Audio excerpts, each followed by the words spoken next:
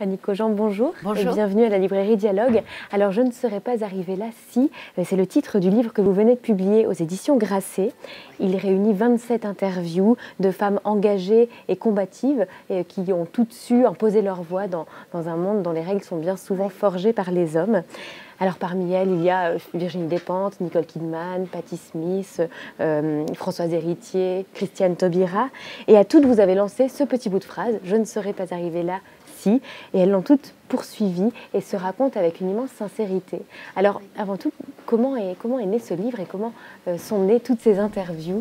Au départ, je cherchais à faire des interviews sur un, mode un peu plus intimiste. Et ça m'intéressait de d'essayer d'arriver à comprendre la, vérité de certaines personnes euh, et de personnes très très diverses, que ce soit effectivement des, femmes engagées, des activistes, mais aussi des artistes, mais aussi des, des auteurs, des autrices, euh, enfin des femmes de, milieux extrêmement différents.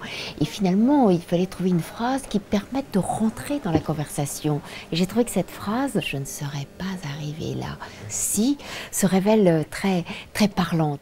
Alors, en lisant toutes ces interviews, ce sont toutes des femmes très différentes les unes des autres. Oui, vraiment. Et puis, il y a, y a, quand même des choses qui, qui reviennent d'une interview à l'autre. Alors, leurs réponses sont bien sûr toutes différentes, mais très souvent, euh, on a « je ne serais pas arrivée là si euh, il n'y avait pas eu le rire de ma mère, si mes parents ne m'avaient pas euh, les géniteurs, la base, la famille, évidemment que c'est fondamental.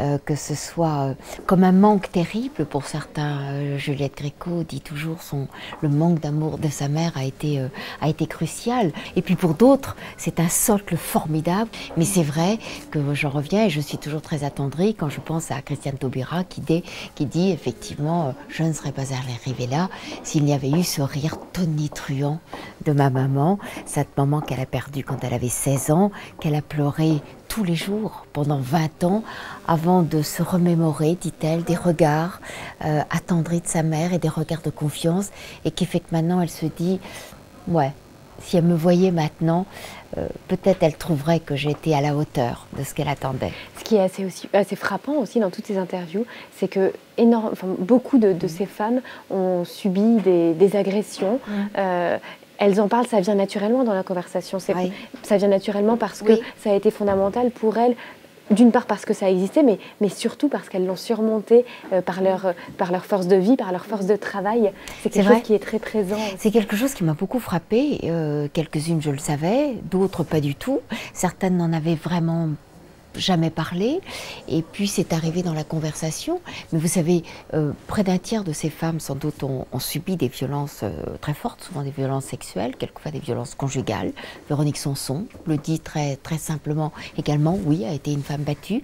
Et, euh, et finalement, ça, ça reflète simplement la, société. On en parle un peu plus maintenant depuis le mouvement MeToo, mais on osait à peine dire ces choses-là avant. Et pourtant, ça aide tellement d'entendre dire les autres. Et Virginie Despentes, notamment, victime d'un viol lorsqu'elle avait 16 ans, me dit Mais il n'y avait pas Google à ce moment-là. Je croyais que je faisais partie des 0,0001% des femmes qui avaient vraiment pas eu de chance et qui avaient fait la mauvaise rencontre. Si j'avais su maintenant qu'on était des milliers, des millions, que c'était peut-être assez fédérateur, mine de rien, les violences chez les femmes, eh ben ça m'aurait aidé. Et même de savoir que Madonna, elle aussi, avait été violée à 16 ans, eh ben ça m'aurait aidé. En tout cas, cela, on peut dire que ce livre est engagé et féministe? Ah oui, oui, euh, Benoît de Gros avait toujours l'habitude de dire le féminisme, c'est un des rares mots en isme qui n'a pas fait de mort.